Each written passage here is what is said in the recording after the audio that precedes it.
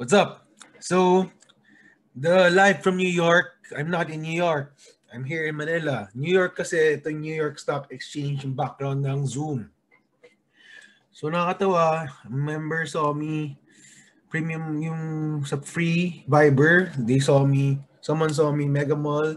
But someone said, ba't siya nasa Mega Mall? Nasa New York siya, di ba? So, I'm here. Yes. So we've seen the market um, fall, in index in general, but um, we saw um, uh, favorite names emerging again, which is mga Dito, and then we have a new new breakout stock, LTG.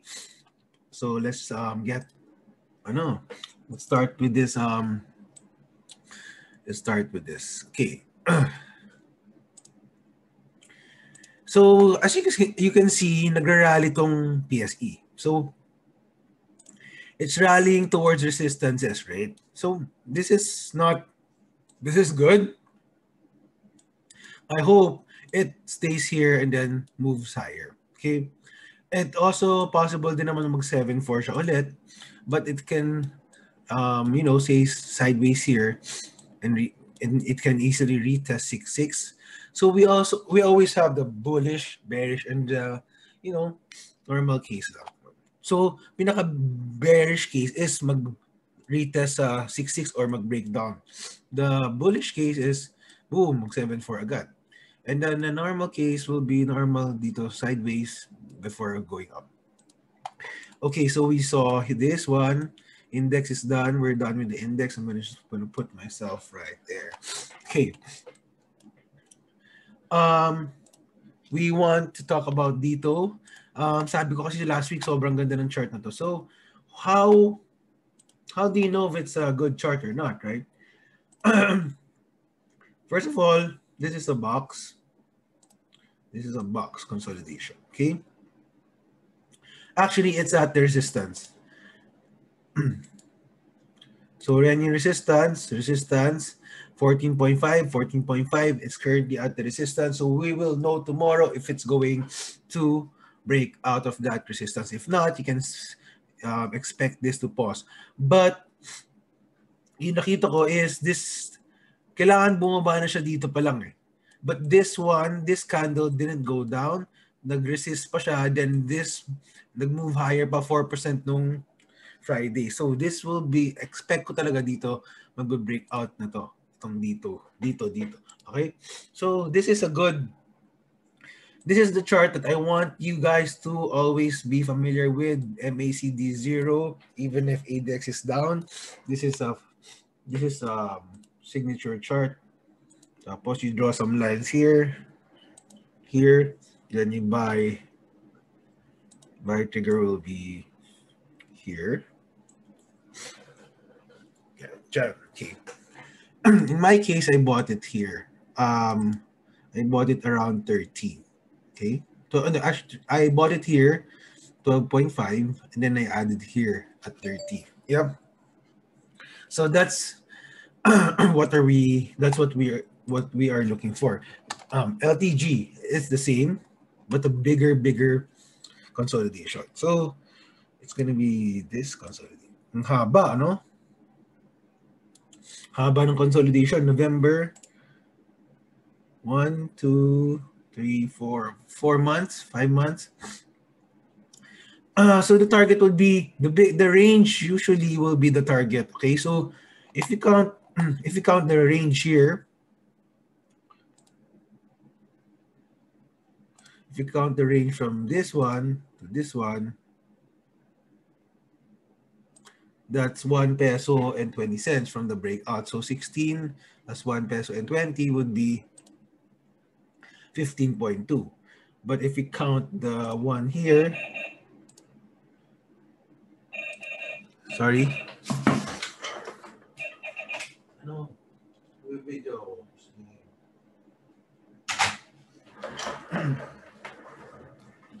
Sorry about that. Um, two dollars so from 14, the breakout, $2, that's going to be 16 pesos at least. But you can see, itong move na to earlier, um, malakas siya if it really breaks out. the move here earlier came from 9 to 13, diba? So that is um that is 46% na move, right? Okay. So here, ganda ng breakout na to. This is one of the cleanest breakout charts I love, but momentum is not yet there. So you might siguro maka mag-pause dito sa area na to 1450 for two more days and that will give you a flag and siguro ganyan. And then that will give people like mga hindi naka-enter chance to enter and then boom. Like that. So that will be ideal scenario here. Okay. Pwede nang bumalik sa 1350, di ba? Pero sana hindi na lang. So that's our, um, those are the two new favorites. So we will talk about our in screener natin muna, Vol. So this one, lakas talaga na to, no? So uptrending na siya. So backdoor um, rumors. So ito nasa all-time um, 52-week high. But but the volume is um, medyo nawawala rin minsan. So just be cautious. BSC, favorite, but it's uh, gonna be volatile. So that's why I sinasabi ko, lahat ng umakyat ng sobrang, sobrang taas, angat ng sobrang taas, will have to rest they have to rest. They have to consolidate. Anong mga examples niyan? LTG. How long did ito, this run up, this run up, kailangan niya magpahinga before the next one. I've always tell, tell, told my students, mga Ganun talaga yung mga stocks. So this is one is the perfect example of that. So yung mga BSC, kailangan nila magpahinga. Okay? FA is always there, also there.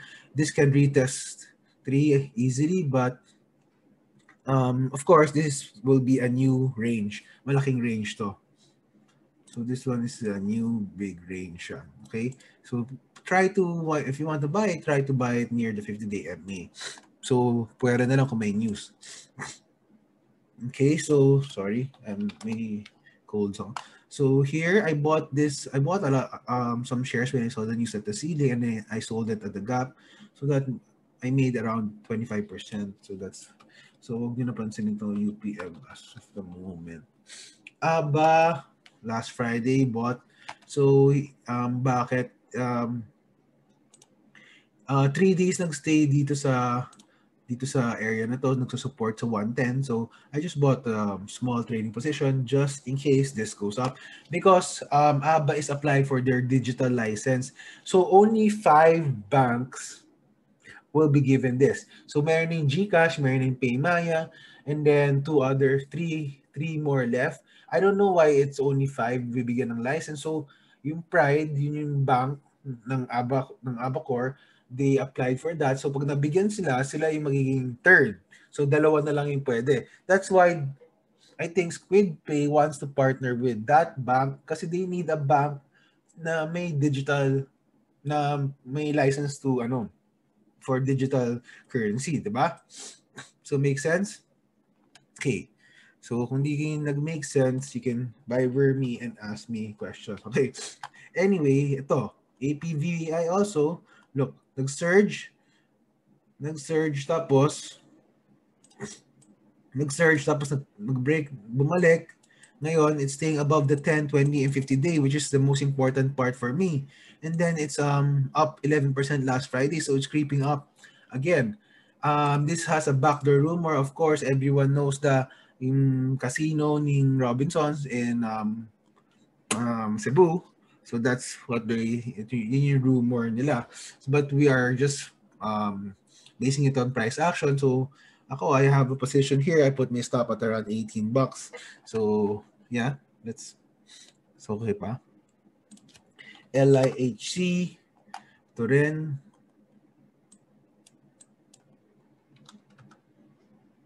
Ah, load na siya, load. So change name, tas bumaba. So we'll just monitor this. So wala masyado. MG is very interesting. Look, um, volume is picking up again. Nag, nag-support lang sa 50-day talaga. So I want to buy this near the 50-day MA. I don't want to chase this stock. So I'm not going to chase it at 50. I'm not going to chase it unless there will be news. So I want to buy it near 0.4 or near this area, near 0.3 area, okay? So abangan lang natin doon. Something might be happening. Ace X, breakout to new high, nag-23, bilang boom, pause. Alam naman natin, nagpo-pause yan pag nag-breakout. So anong gagawin natin? We will wait for that green candle. If this goes up tomorrow, boom, I'll buy. And then boom, pwedeng ganyan. But the um, other scenario will be like this. Tapos bago, magkakaroon ng green candle. That's where we'll buy. Okay? So this is very, very promising also. Kasi di ba nga sinabi ko na last week, market cap, market cap is only 4.7, PXP, market cap niya 20, but this is Ayala, so I really, really like this company. I've been ranting about this company, kung kilala niyo ako, ever since last year. Okay, last year pa. Kasi I made money here also, the previous years, yan yung mga bilog-bilog niyan, I made money. Tapos nag um, 13, tapos bumagsak ng 5. Tapos tagal sa 5, bilang boom, sumabog na naman ulit. Okay, so I've been a fan of this ever since. So nababantayan ko siya. That's why I'm very familiar with it. Okay. IS. Um, this is a third liner that if you want to trade it, trade it, but I, I will not trade this. IMI, a little bit extended, meaning extended, tagal niya na nag, dito sa 13, no, gumagayan-gayan dito sideways sa 13. So, boom, eventually, wala na, nag, nag-weekend na. So, we can uh, expect this to go to 20 days siguro. Kasi ayoko ng ganitong chart, oh, nagsostall. So, dapat dire-diretso na to eh, pag akit niya. But still, from the breakout, umakit na rin ng 40% yan. So, you should be happy, right? Um, Oh, dito, yan, na-discuss na natin yan. So, it, I think tomorrow it will hit 15. So, take some profit when it goes back down, when it goes there. GSMI, I hate this in, illiquid stock. So, I bought here at around 58. Sobrang konti lang ng binili ko dahil nga illiquid. So, I, I cut it, I cut, I sold at 55 and 54. So, that's 4 bucks. Um, 58. Talo mga 6%. Pero yung size ko sobrang liit. It siguro talo lang ng ano. I lost around 150k. That's around 0.1%. 0.1, 0.1% risk lang. So, actually, sinayin ko lang yung 150k ko. But this has a chance kasi to go up fast eh. So that's why I gambled a little at 58. But then I sold it. But dapat yata bumili ako near the 50-day MA. So I'm just gonna monitor this and let's see what happens. ABS-CBN 50-day. Pass na dito. Ang dami namang iba eh. Axelum going up. So we will just um, uh, watch this if it um, dies medyo mag bumaba. DFNN, I'll pass on this. Feeling this land. Hmm, breaking out, but syempre resistance to. Yeah, resistance siya. So, um, not so, not so much. Ace and I tried to enter, um, but I uh, scratched it. So it's still a little, a small green candle. So the trigger will be 750 tomorrow. So bukas pag nag 752, I will buy it and then put my stop again at 7. So at risk at risk of 50 cents. This has to move above 750 for the move to be confirmed. So put your put it on your watch list. Pag 750 trigger, cut 7, calculate your risk. And then um it's not easy. B BDO uh, in a big range BPI, wow, BPI is um, doing that LTG move. Okay, so medyo baka matagalan pa. So I'm gonna, babantayan lang natin to. Fruit naman, breakdown. MWC, the 50-day MA, lumampas na. So nag-rally back, right? So medyo mahina. Ayala Logistics. Um, breakdown ng 50-day, tapos bilang nag-rally, no? so nag-resist na sa 50-day. So I want, we want this to move above the 50-day. Sana mag-move so we can have another stock in play, right? Lopez. Wala na to. FGen. FGen at 50-day MA. So pwede rin yan. Near, near the 50-day MA. MM. Near the 50-day MA. But um, 10 day will cross the 50 days so medyo delikado yon so better be careful with this. Actually malapit na rin ako dyan palabas I have a little bit of position left. IRC moving up but um I'm not so sure about that. PXP breakdown downtrend to yeah. DWC ito yung gusto ko right? So I think DWC something's happening here because uh, nagka- nagkakaroon ng corporate restructuring mga shares and yan. So I bought some at um, 4 bucks here. So ngayon umakit na ng 450 so medyo kumita na ako ng konti but it's illiquid. So guys, bili kayo konti if you want and put your stop at the 10-day MA at 3.8 or put it at 3. Point, put it na lang at 3.2 or 3 maximum. Just put a position there if you want. Um, volume is picking up. Ito, this is what I want. This is this is what I'm seeing. Volume is picking up. And then, sa buong buhay ko, never ko nakita gumalaw tong DWC. I mean, never ko trinade sa buong buhay ko. Ngayon ko lang siya trinade. And then that tells something. That tells me something na nagbabago na ba ako or what. So this is a weekly chart. This is the all-time high, okay? All-time high of Discovery World. So it will not go there without any reason at all. Never nila nilalaro tong stock na to but biglang nagka-volume for the past um past past itong start of the year. So something might be happening here. If you want, you want to um actually this is this company is very cheap, yeah. So you want to um, bantayan yan. Okay? So if you want, you can buy on the flag, you can buy on the pullback. So actually, actually dito nga ako bumili. Dito sa part na to. Dito. Dito. Yan. May John New, tsaka dito. Yan. Pullback, bakit? Kasi that's the pullback. The, this is the second green. One, two, three, pullback. After one, two, three, green, boom, buy.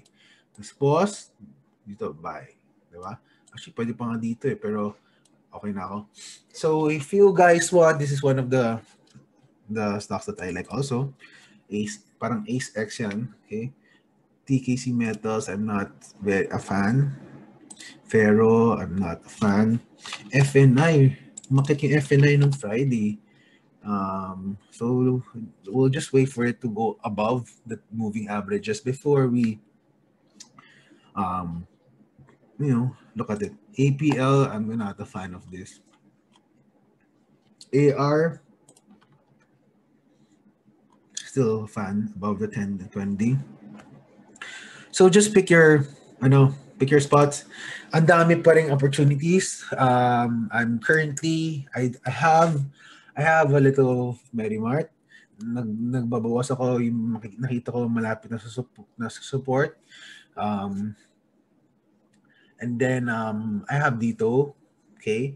And then I have um, a little bit of ABA. I have DWC. I have APVI. I have um, long term. I have Jollibee. I have BDO. But those are not my trading positions. Trading positions will be um, ABA and then um, um, Dito. And uh, I sold ACN last week, but I'm I can buy it again tomorrow for a new position if it goes to 750. Take note, 750 is the magic number, okay? Or 751 para being sure. Mm, TWC have a trading position also. GSMI, I sold my trading position. So yes, um, sa mga new members, please enjoy um, watching the premium channel. I I don't always tell people my position, but for you guys, I'm just sharing. I want to share. Hindi naman hindi naman hindi naman mapapagalaw ng market 'yan, yeah. So, it's been a very, very tiring week for me last week because um, I've been trading the US market and the Philippine market simultaneously. So I've been sleeping around four hours a day average. So nakabawi naman ako ng tulog this week. And uh, itong, yeah. So guys, see you on um, see you on Viber. I'll see you guys next week on for premium charting. If uh, if I have more news, I'll I always relay it on the chat group. Actually, the chat group, yan yung pinakamagandang nangyari sa community natin. Uh, kasi before, it's just like every Sunday, tas wala tayong interaction. So now, I'm very, very happy that I'm very, very stupid actually. Ngayon ko lang naisip gawin siya. Okay, so um, good luck for the um, this week. Chinese New Year is coming up. Sana before Chinese, may pang ano tayo, um, panghanda for Thursday, right? So we have to make the most out of it. Baka may if I'm not mistaken, holiday maging may holiday at Friday or Thursday. I'm not sure. So tomorrow LTG's to play.